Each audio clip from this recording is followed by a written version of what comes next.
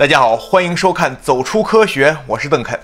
网吧，一个大家再熟悉不过的地方。我的一个大学同学曾经在暑假兼职当网管，他告诉我，别看网吧人多，其实当网管特别轻松，每天只要说两句话就够了。网管，这电脑坏了，重启一下。呃，网管，重启了还不好使，哎，换一台。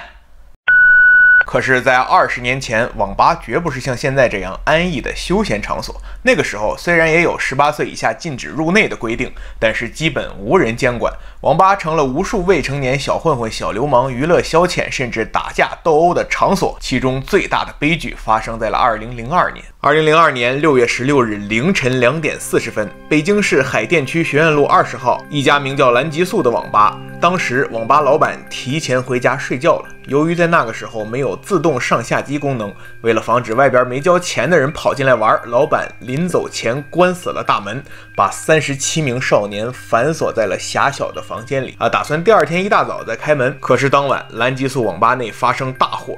大门被老板反锁，所有的窗户都被铁护栏死死地封住。眼见网吧内火势越来越旺，浓烟滚滚。为了求生，许多少年把里面的窗户打破，隔着铁护栏向外面的人大喊：“求求叔叔阿姨，快救救我！我只有二十岁，我不想死。”可是没过一会儿，里面的呼声就越来越小。很快，消防战士赶到，在打开网吧大门的一瞬间，消防战士们看到了他们一生中从未看到过的可怕场景：里面的尸体堆积如山，惨不忍睹。无法想象这些孩子们刚刚经历了怎样的绝望与痛苦。经过清点，二十五人死亡，十二人烧伤，他们其中大部分都是独生子女，半数都是附近学校上学的孩子。北京市消防总队请来了权威专家李建林大校对火场进行调查。专家首先排除了雷击、电路老化、香烟等可能性。李建林根据现场痕迹判断，火焰曾经发生过跳跃。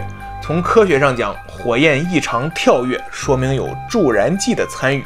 而我们生活中最常见的助燃剂，当然就是汽油。警方立刻走访了附近的加油站。果然，就在事发前不久，有两个小孩拿着雪碧瓶来这里买过汽油。很快，案件水落石出，这起纵火案的起因是四个小孩因为网吧规定未成年禁止入内，与工作人员发生争执，因而怀恨在心，所以纵火报复。可这一报复却烧死了二十五条无辜的生命。事发后的几个月，那些失去孩子的家长每天都会去蓝极速网吧门前哀嚎。由于当时四名嫌犯都是未成年人，所以没有公布他们的真名。根据多年来网友们的深扒，我找到了这几个人的资料。主犯叫刘一凡，男，十四岁，石油附中学生，在本案中起指挥策划作用。因犯罪时未满十八周岁，从轻处罚，判处无期徒刑。宋胜伟，男，十五岁，矿院附中初二辍学生，他的父亲因吸毒被劳教，无人抚养，所以整天和刘一凡一起混。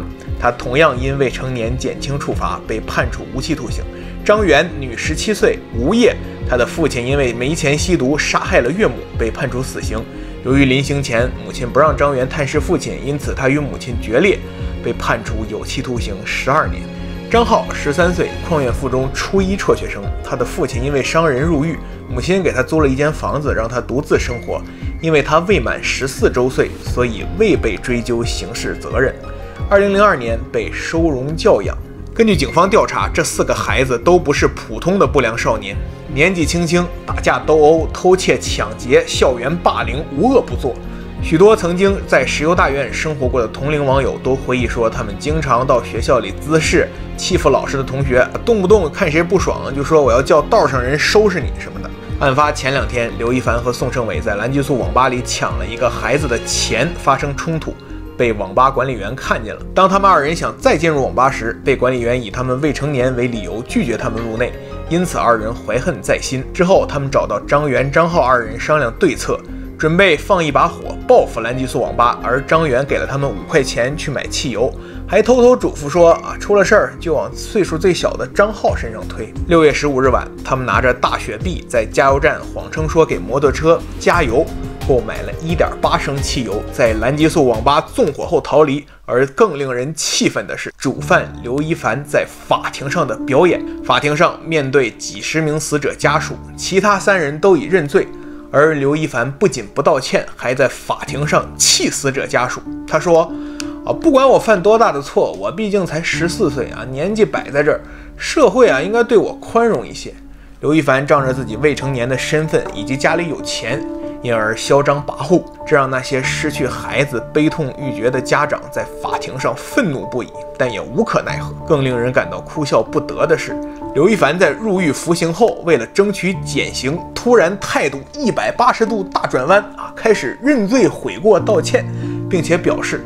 我之所以态度转变，是因为我的教导员姓胡，我们都叫她胡妈妈。在她的教导下，我认识到了自己的错误。希望今后的日子，我能多学习知识，认真改造，早日减刑。看到这里，我们就非常理解国家最近拟调整降低未成年人的刑责年龄。很多孩子，你别看他岁数小。他的心机不亚于任何一个成人，而且往往小孩子做起坏事儿来会比成年人更没底线、更无耻。截至二零一六年七月，本案的四名主犯都已减刑出狱。今天三十出头的他们和我们一样生活着，据说他们中有的人家里还拆迁了，日子过得很好。而那二十五名死者的父母，他们再也看不见自己的孩子了。最后给大家讲一点后续。蓝极速事件之后，北京对全市网吧停业整顿一年。从那之后，全国开始了最严格的网吧身份证登记制度。在当年啊，刚刚兴起的中国电竞产业也因此事遭受到了毁灭性打击，直到近些年才慢慢复苏崛起。当年啊，你甚至可以在 CCTV 五看到段轩老师主持的节目《电子竞技世界》。